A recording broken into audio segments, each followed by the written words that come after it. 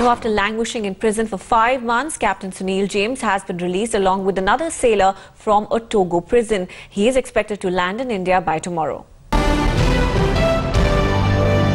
It is a very big relief. Uh, it could have come earlier when we talk about the initial steps, but now after meeting the PM, uh, I mean, I think two weeks, within two weeks, we have got the results, so I am quite happy with that. It's important that the government takes stock of the situation, be pro- more proactive in the future, probably set up a committee or a body for these kind of incidents so that there isn't a repeat of what we've been through. You were actually battling for your husband all this while, even when something as painful as losing your son. Would you finally be able to grieve the loss of your son?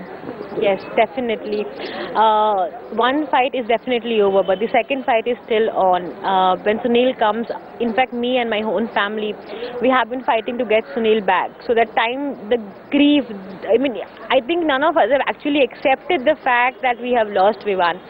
Now when Sunil comes, we'll all will have to accept it and uh, deal with the fact that we don't have Vivan around us. I think that will be a bigger fight in itself to cope with that loss.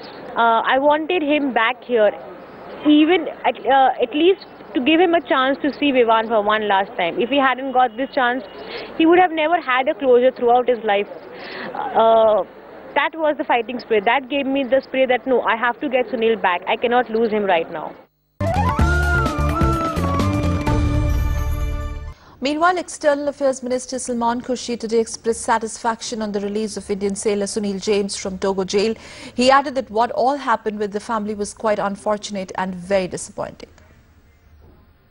मैं संतुष्ट हूँ और इस बात से प्रसन्न हूँ।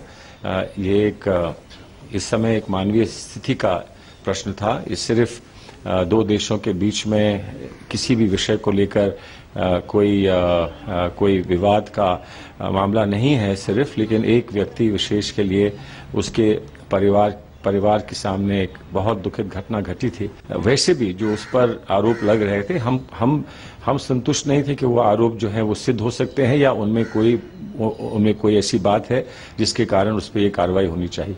लेकिन उसके साथ साथ जो मानवीय स्थिति का एक प्रश्न था, उसमें हम लोग इसमें सफल हुए।